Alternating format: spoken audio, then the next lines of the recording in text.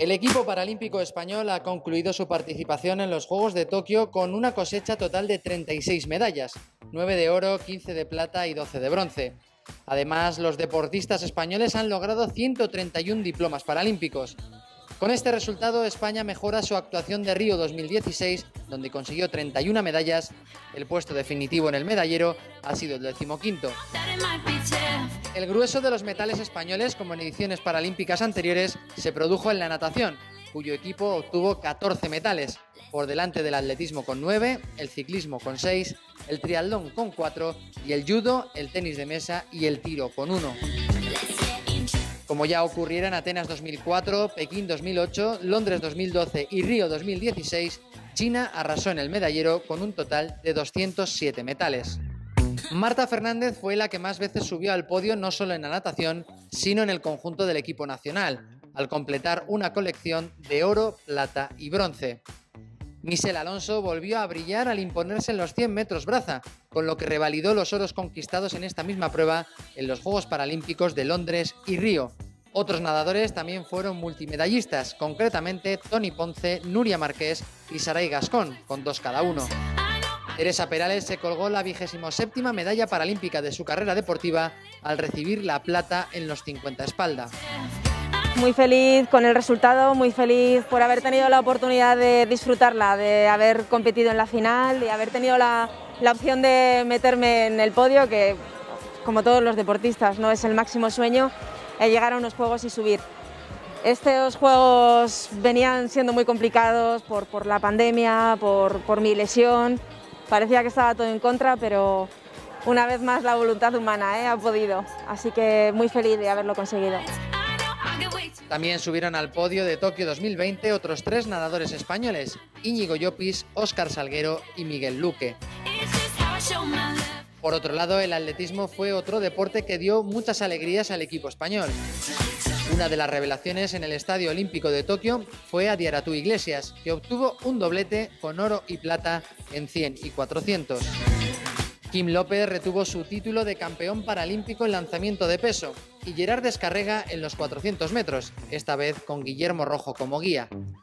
Y el debutante Yasin Oudadi consiguió la medalla de oro en los 5.000 metros. Otros atletas españoles obtuvieron medallas en Tokio, casos de Sara Martínez, Iván Cano, Miriam Martínez y Héctor Cabrera.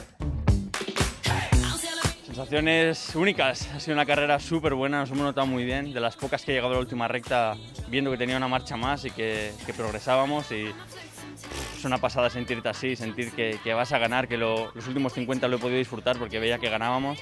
En cuanto al ciclismo, mejoró su actuación de Río 2016 con una cosecha de seis medallas. En el velódromo de Fuji, Alfonso Cabello pedaleó hasta el oro en el kilómetro, con récord del mundo incluido a lo que hay que añadir el bronce en la velocidad por equipos junto con Ricardo Ten y Pablo Jaramillo.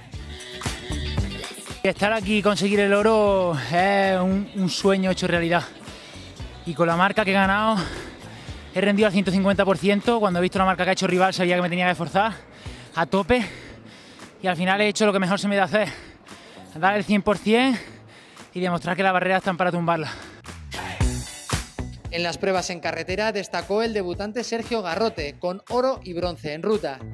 También se hicieron con medallas el tándem formado por Cristian Benge y Noel Martín y Luis Miguel García Marquina.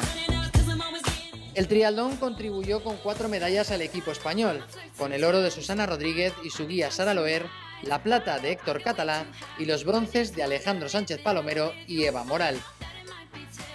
El judo volvió a situar a un representante en el podio tras volverse de vacío de Río 2016, merced a la plata de Sergio Ibáñez. El tenis de mesa aportó el bronce por equipos de Álvaro Valera y Jordi Morales, mientras que en la última jornada llegó el bronce de Juan Saavedra en tiro olímpico. Por otra parte, España aportó representantes en otros nueve deportes y algunos de ellos se quedaron a las puertas de las medallas.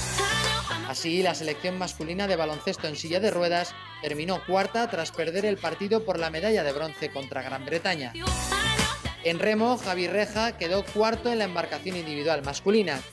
En alterofilia, Loida Zabala sumó su cuarto diploma paralímpico al ser sexta en menos de 50 kilos. La selección de fútbol 5 para ciegos repitió el sexto puesto de Río 2016. En tenis en silla de ruedas, España estuvo más cerca que nunca de las medallas en el cuadro masculino porque Dani Cabersacci llegó a cuartos de final.